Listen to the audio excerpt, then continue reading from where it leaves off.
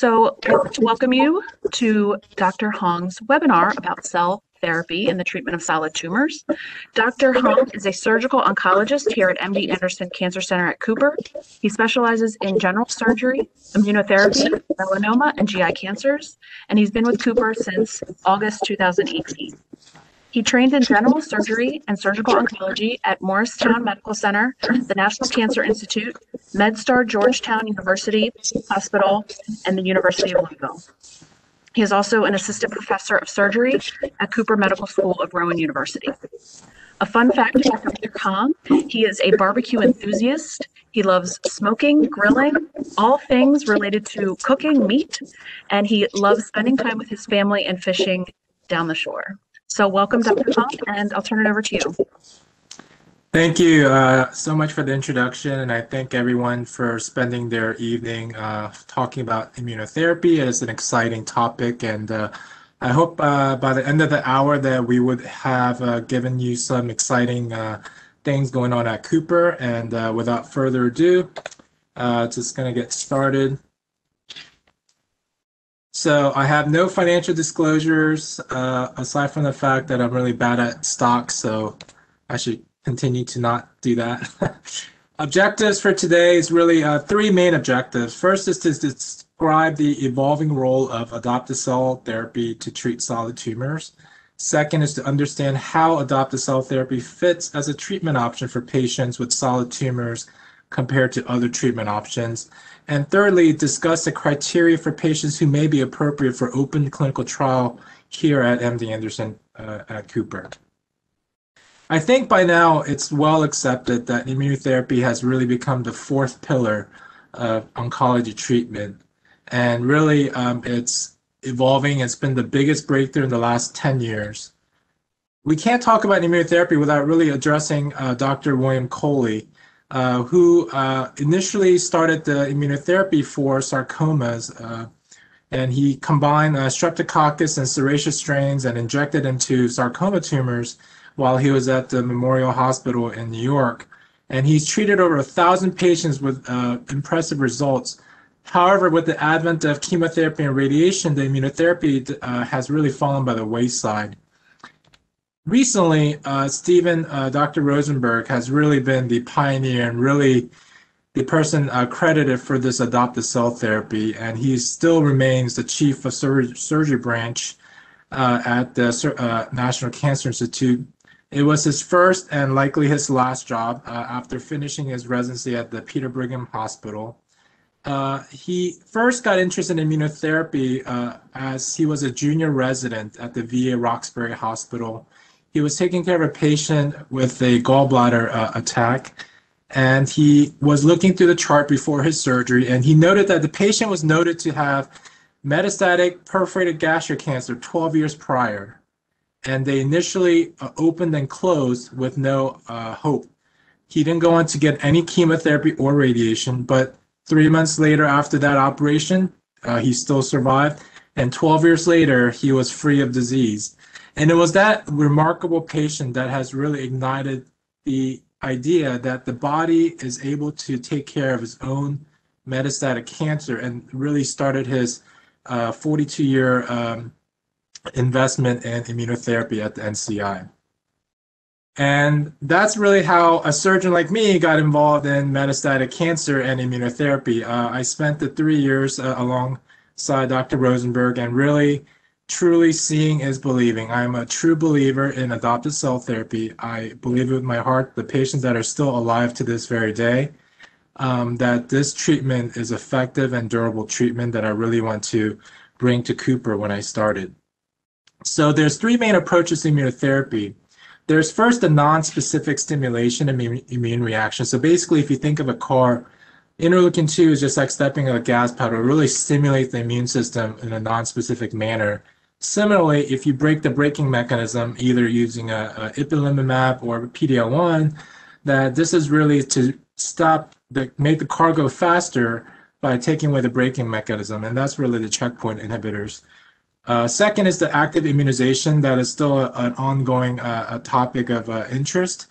And thirdly is the passive transfer of activated immune cells with anti-tumor activity, which is adopted immunotherapy. And that's really going to be the focus of tonight's discussion. This is an example of a, a patient that was treated at the NCI with metastatic renal cell cancer. And it was uh, treated with high-dose interleukin-2 in 1994. And as you can see, even with a non-specific T cell growth factor as interleukin-2, it has caused regression of his metastatic renal cell cancer, and he's still disease-free 20 years later as of this presentation. It does come with side effects. So this uh, IL-2 has this known capillary leak syndrome. So what it is, is when you get high-dose interleukin-2, it causes your vasodilatory side effect where you lose protein-rich fluid into your soft tissue. So there's a lot of third spacing and subsequent hypotension that is treated not by pressors, but rather volume and therefore um, the capillary leak, leak syndrome is a known phenomenon of third spacing, pleural effusions, and anasarca that is treated with volume but then resolves as the patient recovers from IL-2 administration. There's several key principles with adopted as a cell therapy. First of all, there are specific immune cells that react to tumor cells and have the ability to keep, uh, kill them. Second, there's a transference of tumor-reactive immune cells to a tumor-bearing host. The problem really lies in that there's insufficient quantity of these powerful immune cells in the host.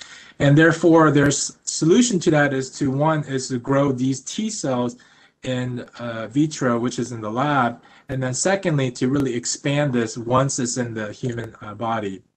The first generation of adoptive cell therapy by Dr. Rosenberg was simply collecting the uh, peripheral blood of tumor-bearing host of the cancer patient, expanding these cells with high-dose interleukin-2 in the in vitro, and re-administering these immune cells back to the patient with interleukin-2. And um, there was about 44% response rate of uh, this treatment.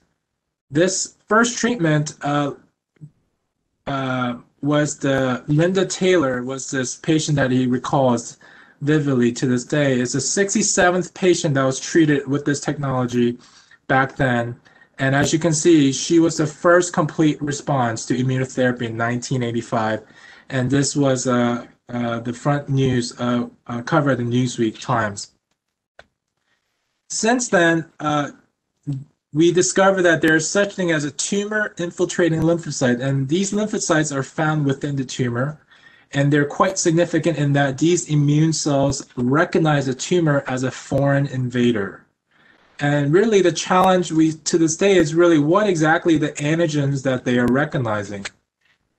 When Dr. Rosenberg compared the lymphokine activated killer cells versus these tumor infiltrating lymphocytes, meaning that peripheral uh, lymphocytes versus the lymphocytes found in the tumor in a murine model, there is a complete uh, uh, uh no-brainer uh, benefit of TIL therapy, uh, TIL cells compared to the lymphokine activated killer cells. And therefore, this set of experiments has really changed the lymphokine activated killer cells to TIL cells as the main T cells to focus on. And really, this is the hallmark of adoptive cell therapy. If you start from the top, we take a patient with metastatic uh, solid cancer, melanoma, head and neck, uh, lung cancer, cervical cancer, whatnot, and we uh, fragment these tumors uh, in the petri dish. These uh, T cells within these tumor cells are then grown and expanded. They're tested for uh, activity with interferon gamma release and selected for the ones that are reactive and they're reinfused back into the patient. The TIL cells are very unique in that one person's TIL therapy cells are very different than the next person's TIL cells, meaning that each TIL bag that the tumor is harvested from reacts to their own specific tumor antigens and there's little shared across uh, patients. So these TILs are incredibly individualized and personalized to each patient. And they recognize their own cancer in a very unique way. And the way that they're made is that they're first uh, uh, harvested, meaning with the surgery, and they're separated into several fragments. They're grown up, and then this competing other cells die off. And once those competing cells die off and only the lymphocytes remain, they are then rapidly expanded at what's called a REP phase with uh, interleukin 2, OKT3, and um, uh, feeder cells. And once they're uh, grown to billions of cells, they are then brought back to the patient for reinfusion into their own body. This is a classic uh, schema of the prepper regimen that goes into the uh, TIL therapy. So the day that the patient gets their own T cells back is called day zero, and everything surrounding that day zero is how we use the nomenclature. So seven days of chemotherapy, we use day minus seven, and we do a countdown leading up to day zero that you get your cells. And every day after you get your uh, cells, or we call day plus one, day plus two, day plus three. And generally, this is how the, um, the schema is set up. Seven days of preparative non-myeloablative chemotherapy, followed by TIL infusion, and the IL-2 is given to you to re-expand the T cells that is once infused into your body. This is experienced at the NCI uh, using various vaccines, high-dose interleukin-2 alone, uh, anti-CTLA-4, uh, TIL cells alone, TIL cells with non-myeloablative therapy, and TIL cells with non-myeloablative therapy and total body irradiation. As you can see, the total body irradiation had the highest uh, uh, objective response, but the toxicity of the combined total body irradiation was too morbid, and therefore the current regimen is non-myeloablative with TIL therapy. As you can see, there's uh, endless uh, pictures of these patients that I've gotten to witness over the years uh, while working with Dr. Rosenberg. And as you can see, another patient with metastatic melanoma to the lungs and liver that was treated with TIL therapy, 10 years later, still remains disease free. And Dr. Uh, Udai Kammula, who's another um, uh, faculty member that worked under Dr. Rosenberg, also went on to develop uh, adoptive cell therapy for uveal melanoma and has been and is a, a topic of ongoing uh, research which is a very rare type of melanoma. And as you can see that he has had uh, some remarkable responses to uveal melanoma using the same strategy as uh, mentioned. And looking at the T cells, the T cells that responded before the reinfusion were predictive of the response of responding versus non-responders. There's ongoing TIL therapy for metastatic breast cancer that is an active uh, topic of uh, research. And as you can see, there's been remarkable progress in breast cancer. When they look at the different clonotypes of the uh, TIL cells that are uh, prevalent in the patients after 17 months, uh, it shows that there's different uh, uh, types of T cells that target multiple clonal targets.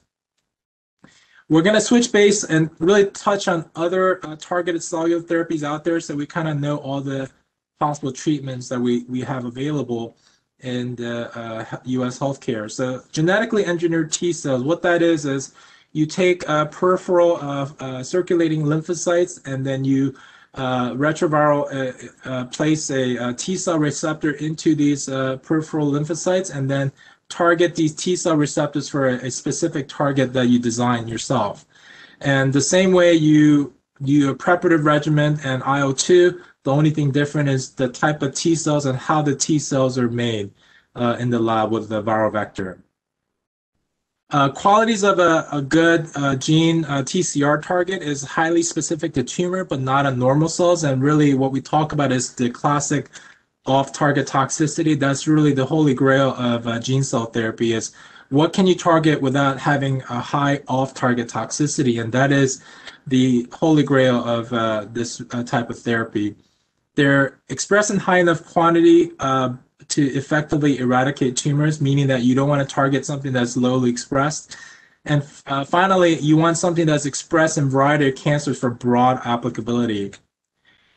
Cancer testis antigen is a uh, something that uh, has been uh, looked at many times. It's a, a antigen that's expressed in the testes uh, and not on other cells because they lack MHC complex in normal uh, cells uh, but uh, in the testes and placenta, but in cancer cells, they do have expression, but unlimited levels. This is actually uh, one patient that I treated uh, with Dr. Uh, Paul Robbins uh, at the NCI, and he had a metastatic synovial sarcoma. As you can see, there is dramatic, dramatic response when you target NY-ESO cell using T cell therapy that was uh, engineered for his tumor that expressed high levels of NY-ESO1, which is a cancer testis antigen. Shifting base again, uh, this is chimeric uh, um, uh, antigen receptor therapy, which is CAR T, which I think people hear that a little bit more.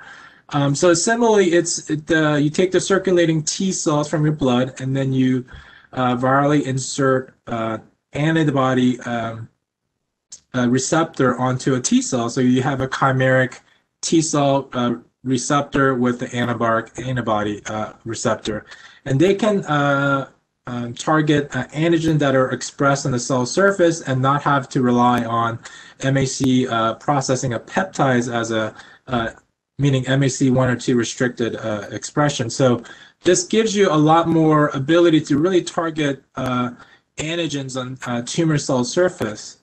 And again, it's really the same mechanism, non-myeloablative uh, uh, therapy with IL-2 after the cells are injected is the same way you do TIL therapy or gene cell therapy. The only thing different is how you develop the T cells. In this case, they combine the, again, uh, antibody um, uh, onto a T cell receptor. So if you think of it, it's kind of a creating a really of a, a super T cell in some ways. Um, and they've had dramatic response in patients who have uh, CLL. And uh, it's C- um, CLL uh, 99 is the receptor that they respond to, and it is a dramatic response and a clear breakthrough in CAR T therapy for this uh, leukemia uh, uh, patients. it has definitely um, gained a lot of traction because it's very potent and responsive. Um, and multiple myeloma is another uh, area that's a um, active uh, success.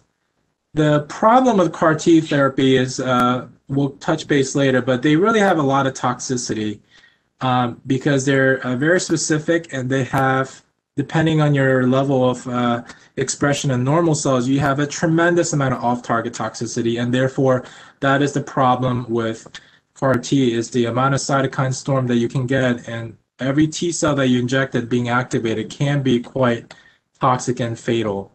And therefore, there's some thoughts of using suicide genes inserted into these uh, uh, T cells that you can generate that you can activate uh, depending on whether you want to uh, kill the T cell activity. You can uh, design this in a similar way to uh, have a fail safe to kind of stop this ongoing immune response like I said, the toxicity of these gene cell therapy and CAR T cell therapy uh, are uh, molecular mimicry and the off-target toxicity. So when you target the various uh, uh antigens on the gene cell therapy, they can cross-react with other receptors that your body would mistake, and there have been severe uh, uh, poor outcomes in using gene cell therapy and CAR T cell therapy for solid tumors.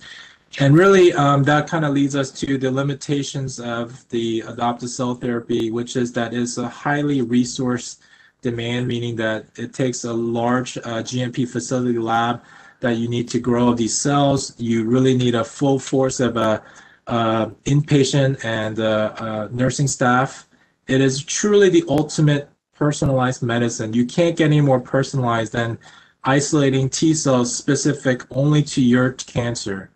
Uh, it has been historically limited in the country to 20, um, uh, I mean, limited in the number of centers that can provide this type of technology and treatment. And uh, the inpatient hospitalization is about 20 to 30 days on average. Um, and there is a, a, a, delay in the cancer progression and post-op complications from surgical resection in metastatic cancer patients. Um, there's also a risk of neutropenic and sepsis, capillary leak syndrome, and cytokine storm once the IL-2 uh, really starts the T cell activity. They are uh, traditional checkpoint inhibitors, which are, uh, for uh, reasons uh, that are obvious, are the first line therapy for most uh, patients. And um, this is a, a Iovance chart that we kind of compare the benefits of T cell therapy uh, using gene cell therapy, CAR T, which is again uh, antibody uh, chimeric uh, receptor, and then TIL cells. So if you see um, the cell therapies are one-time treatments all across the board versus checkpoints, which are long maintenance periods. Um, and the potential immune toxicity is uh, safest in TIL cells uh, because there's no uh, off-tissue toxicity that is uh, expected in TIL cells versus the other T cell receptors and CAR Ts. Um, and that really is the uh, beauty of it. And then the other beauty of it is that while gene cell therapy and CAR Ts are only targeting a single antigen that in a human uh, cancer, the TIL cells is a large polyclonal, large T cell repertoire that targets different mutagenic uh, antigens on the cell surface. This is Linda Taylor, 30 years later, cancer-free. Uh, Dr. Rosenberg's first uh, patient that he has cured with immunotherapy, and she is alive to this very day, doing quite well. So this kind of brings us to where we are today and uh, where we are with MD Anderson uh, at Cooper. Um, is a uh, centralized uh, producer of these TIL cells that's going to be the global distributor, and that's going to be in our backyard at Navy Yard in Philadelphia. Um, it is expected to uh, start in 2022, and we have been. This has been an immense collaboration with Iovance and MD Anderson at Cooper that we have fostered. We have uh, uh, started uh, many clinical trials. Uh, we are being the regional TIL site uh, for the region once the TIL cells are accepted for FDA approval and there's ongoing research collaboration efforts for further uh, phase one uh, studies. Iovance uh, was started uh, in 2011, and that's about the time that I was in the NCI in 2010 to 2013. And uh, it's kind of ironic, full circle in 2021, here we are talking about Iovance. But Iovance has slowly, uh, steadily made progress in melanoma, cervical head and neck, and now lung cancer. They have uh, uh, partnered with Moffitt uh, and University of Louisville and, and, various centers around the country to really have a robust uh, clinical trial that we have been uh, uh, fortunate enough to be a part of. Iovance has been able to really be the central hub where you can perform surgery, send Iovance the tumor fragments or the tumor harvest, and they will in turn turn around and generate the TIL cells within 21, 22 days and ship it back to us and for TIL infusion. So that's kind of the model that we have uh, done, which is uh, we schedule patients for surgery, and while they recover, the cells are growing at Iovance, a GMP facility. We bring them back with seven days of lymphodepletion with a planned TIL infusion once the cells are ready and give them high dose interleukin 2, which is again is a T cell growth factor to help the T cells grow and then wait for their uh, blood counts to recover and they are discharged and is a one-time treatment and is uh, start to finish.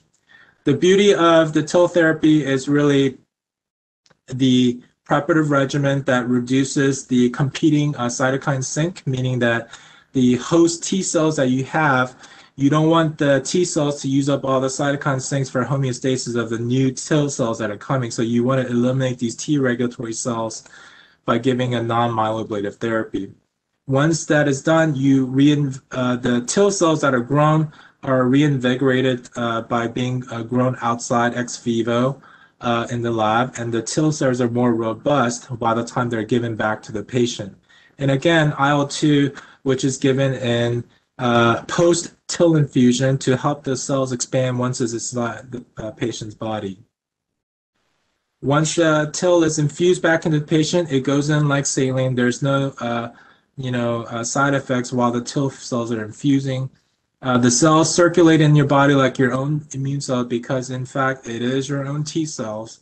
Uh, but they do migrate from your blood vessels to the tumor recognize the specific antigen that the TIL cell itself will recognize and start releasing various interferon gamma, granzyme, and perforin to start really this uh, cytotoxic effect of the TIL cell.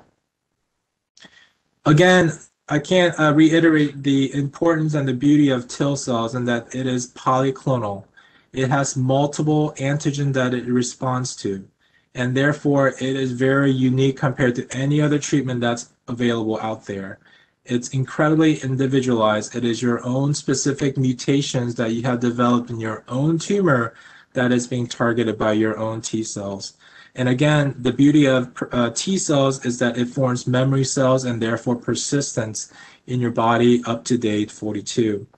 There's additional uh, memory cells, and that is the reason for the durability in these patients that are 10 years, 20 years out from their immune one-time immune therapy because these immune uh, cells form memory and constantly surveillance the body for future melanomas.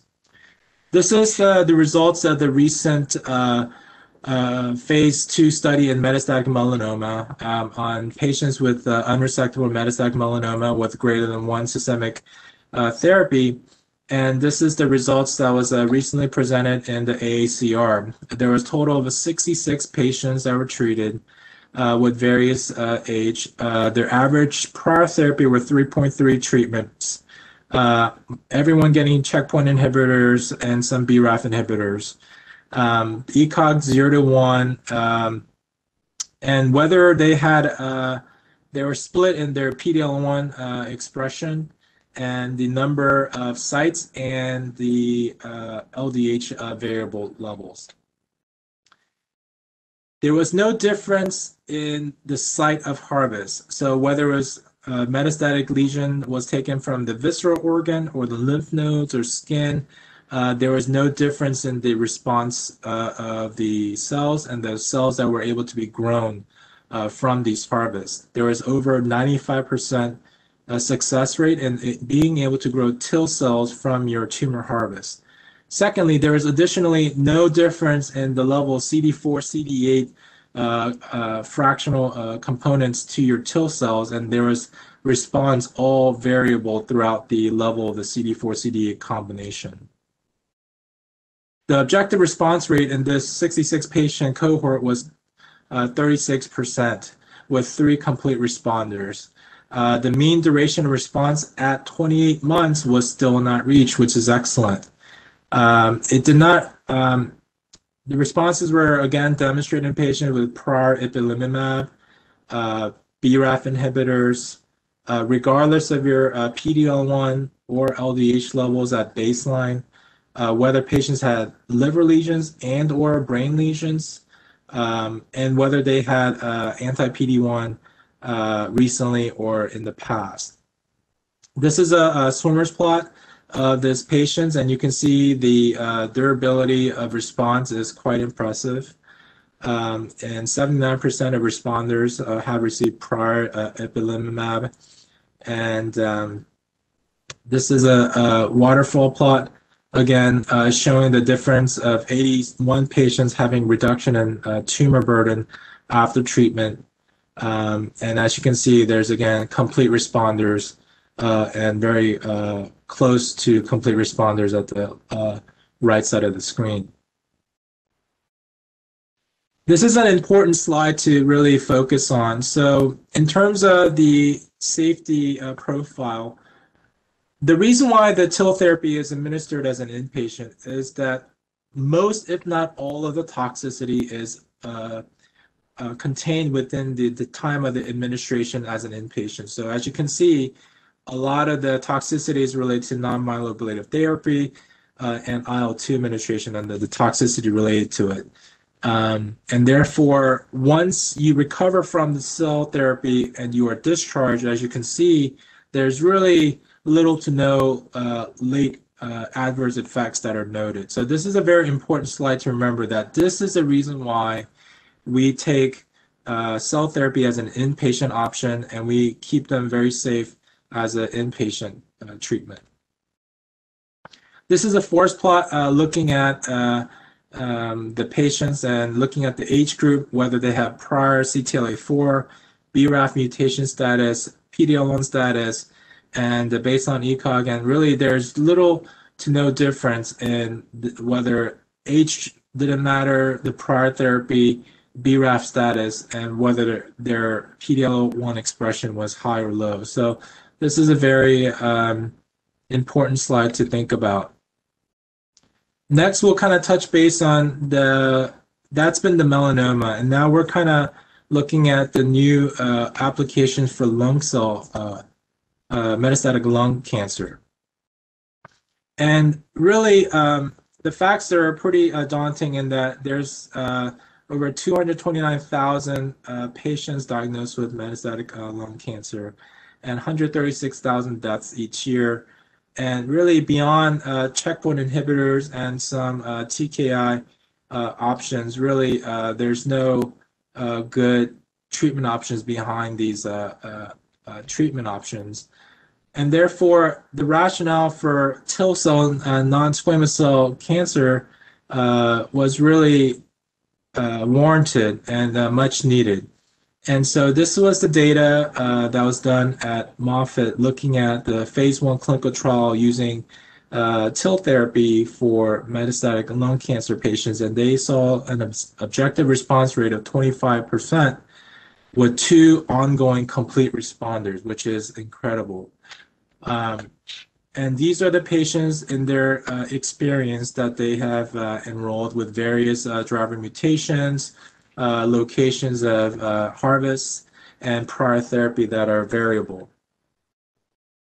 And you can see that the depth of the re response and the duration of the response is quite impressive, including several complete responders on their trial. And this really gave a, a signal of excitement and um, and rationale for expanding the TIL therapy clinical trial to uh, other sites, such as MD Anderson at Cooper.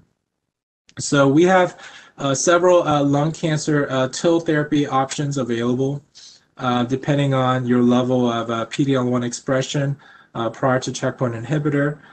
we also have the ability that if someone is not a candidate for a surgical resection for whatever reason, that uh, core uh, needle biopsy can be an option for cohort three to be able to be uh, enrolled for TIL therapy.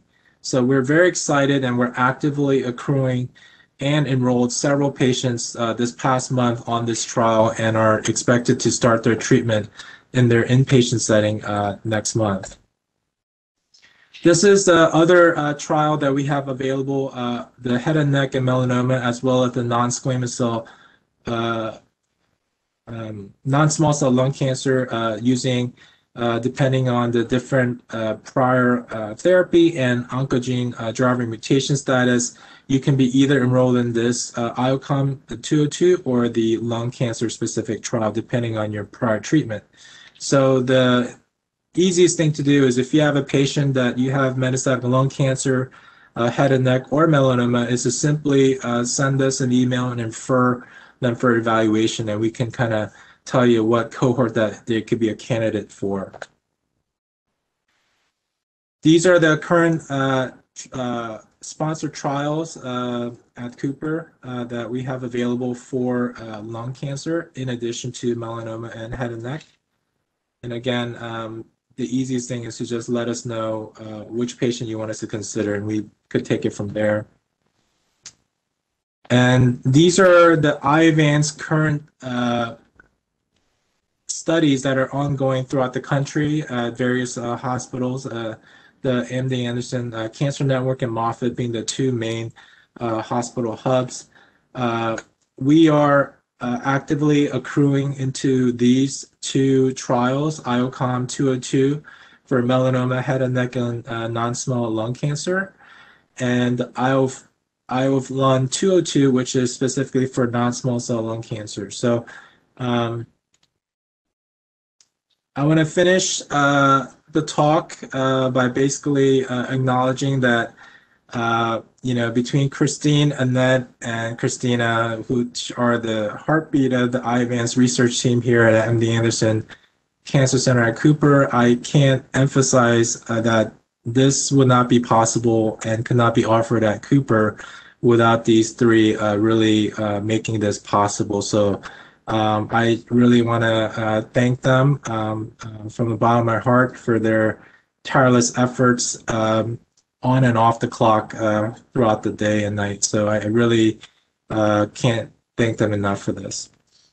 I also want to say that this is, it takes a village, uh, really, that uh, at MD Anderson Cancer Center at Cooper, Uh, I think we are blessed with working with people that truly believe in what we do day in and day out, that really are focused on bringing the most cutting edge research to Philadelphia and South Jersey uh, area, and and uh, the medical oncologists, the surgeons that do the various uh, tumor harvests, the ICU uh, faculty, and the inpatient medical oncologists who really serve critical roles in this uh, treatment throughout the whole circle.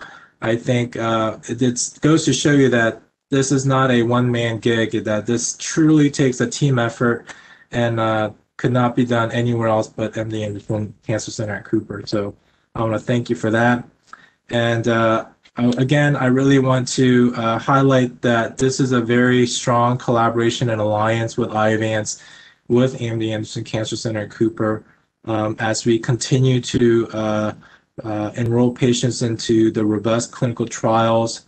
Uh, look forward to being the regional TIL therapy center uh, for this Philadelphia region and really future research collaborations and other phase one studies and trying to improve uh, TIL therapy for other histologies uh, and the current histology we're currently treating. So with that, um, I want to thank everyone for their attention and their uh, time on a uh, Wednesday afternoon. Um, and I will open up to any questions that anyone might have.